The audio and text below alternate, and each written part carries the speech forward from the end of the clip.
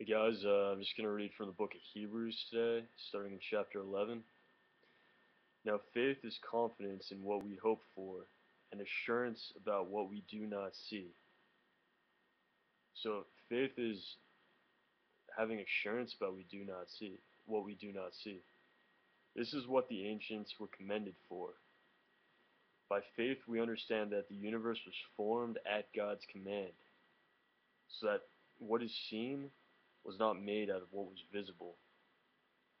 By faith, Abel brought God a better offering than Cain did.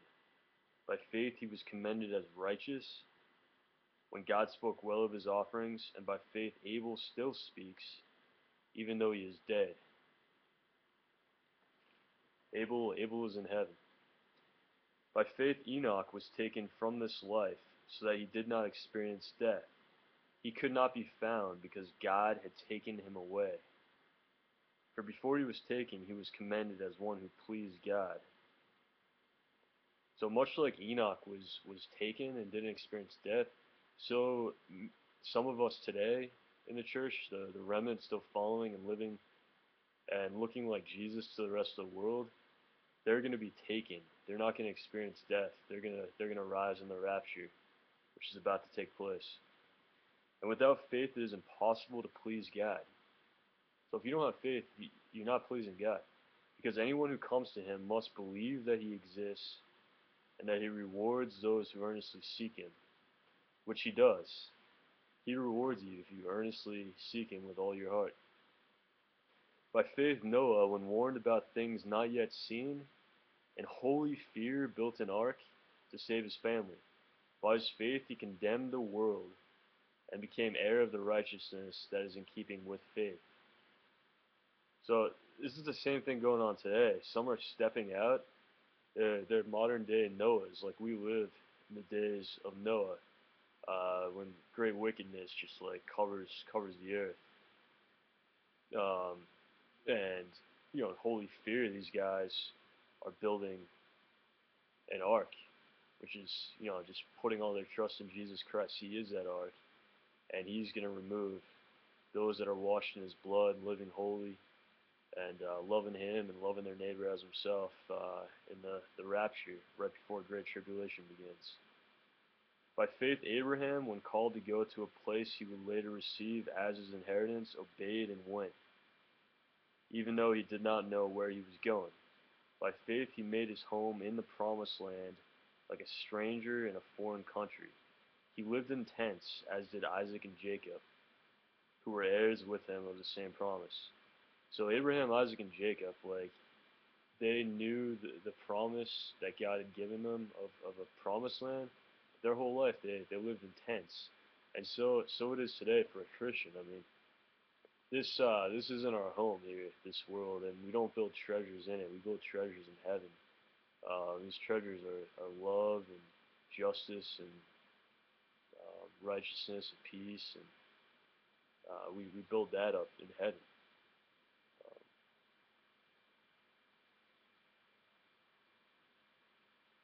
Um, uh, for he was looking forward to the city with foundations, whose architect and builder is God.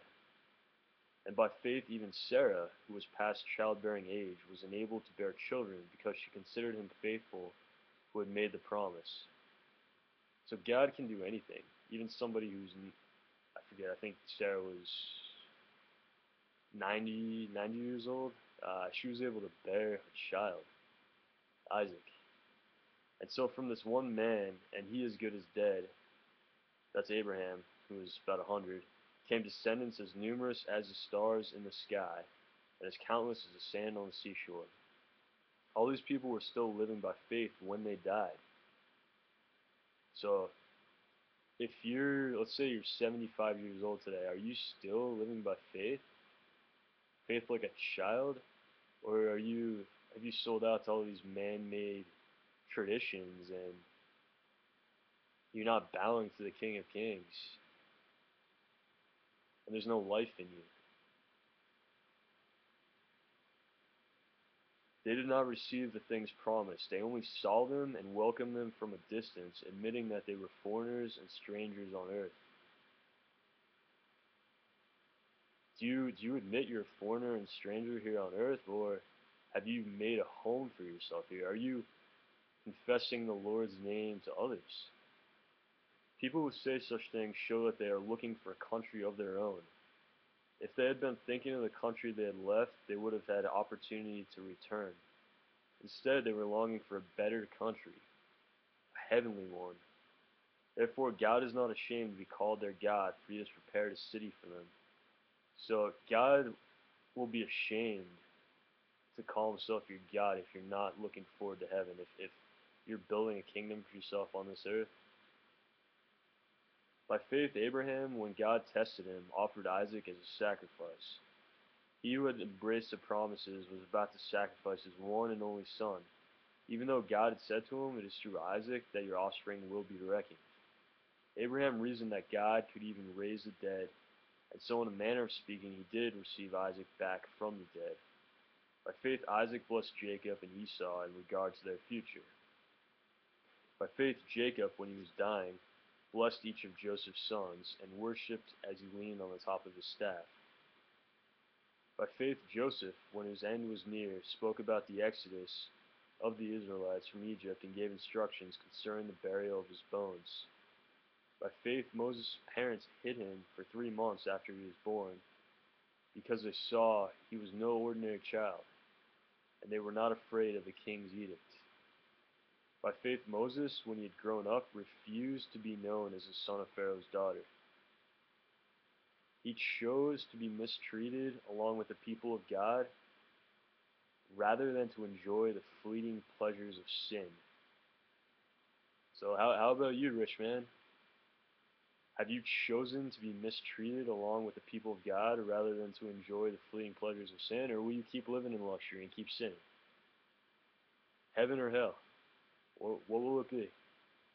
He regards disgrace for the sake of Christ as of greater value than the treasures of Egypt, because he was looking ahead to his reward.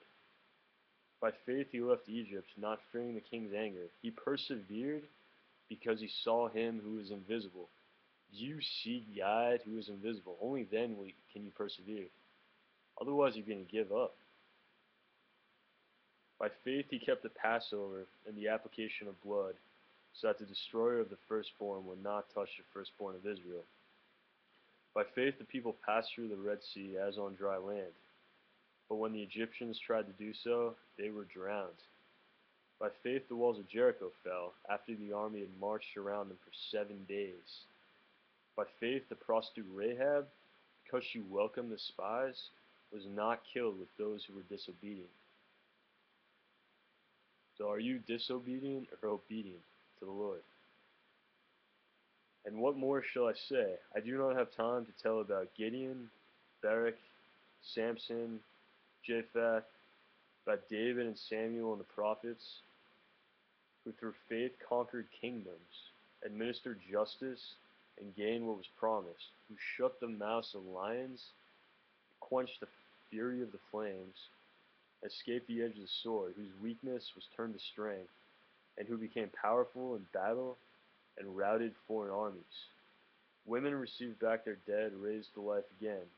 There were others who were tortured, refusing to be released so that they might gain an even better resurrection. Some faced jeers and flogging and even chains and imprisonment. They were put to death by stoning. They were sawed in two. They were killed by the sword.